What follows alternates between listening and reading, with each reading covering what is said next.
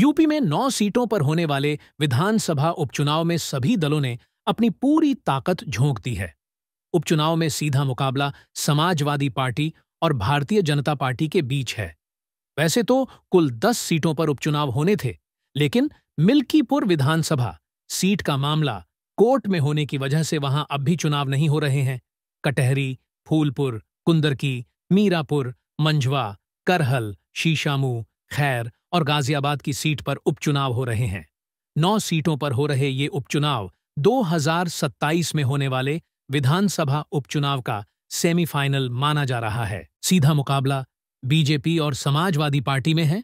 Samajwadi party ज़्यादा से ज़्यादा सीटें जीतकर बताना चाहती है कि लोकसभा चुनाव में सैंतीस सीट पर उसे जो सफलता मिली थी, वो तुक्का नहीं थी, जबकि बीजेपी नौ में से ज़्यादा सीटें जीतकर समाजवादी पार्टी से लोकसभा चुनाव में मिली हार का बदला लेना चाहती है जिन नौ सीटों पर उपचुनाव हो रहा है, उनमें से पाँच सीट पर बीजेपी का कब्जा था, जबकि चार सीटें समाजवादी पार्टी के खाते में थीं। अखिलेश यादव बार बार ये दावा कर रहे हैं कि अगर जनता ने नौ में से सात सीटें भी बीजेपी को हरवा दी तो यूपी में मुख्यमंत्री बदल जाएगा, जबकि बीजेपी ने उपचुनाव में जीत के बंटोगे तो कटोगे का नारा दिया है और यूपी में बीजेपी के लिए प्रचार कर रहा हर नेता यही नारा दोहरा रहा है।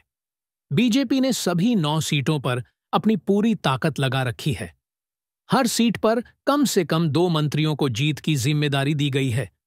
मुख्यमंत्री योगी आदित्यनाथ खुद हर विधानसभा सीट पर तूफानी दौरे कर रहे हैं। सभी नेताओं और कार्यकर्ताओं से चुनाव प्रचार का फीडबैक लिया जा रहा है। आरएसएस के नेताओं को भी चुनाव में बड़ी ज़िम्मेदारी दी गई है। दूसरी तरफ़, समाजवादी पार्टी लोकसभा चुनाव की तरह इस बार भी अखिलेश यादव के चेहरे पर चुनाव लड़ रही है और अपने पीड़िए के नारे को बुलंद कर रही हैं। समाजवादी पार्टी को उम्मीद है कि जैसे लोकसभा चुनाव में पीड़िए के नारे ने उसे बड़ी कामयाबी दिलाई थी, इस बार भी पीड़िए का नारा कामयाब होगा। कुंदरकी करहल, कटहरी, फूलपुर में समाजवादी पार्टी का पलड़ा भारी नज़र आता है। जबकि बाकी पाँच सीटों पर सपा और भाजपा में कांटे की टक्कर है। करहल से अखिलेश यादव खुद विधायक थे, लेकिन कन्नौज से लोकसभा का चुनाव जीतने के बाद उन्होंने करहल सीट से इस्तीफा दे दिया। करहल से अखिलेश यादव ने अपने भतीजे तेज प्रताप यादव को उम्मीदवार बनाया है, जबकि कटहरी से सांसद लालजी वर्मा की पत्नी उम्मीदवार हैं। उपचुनाव के दौरान दोनों दलों में जुबानी जंग भी खूब चल रही है।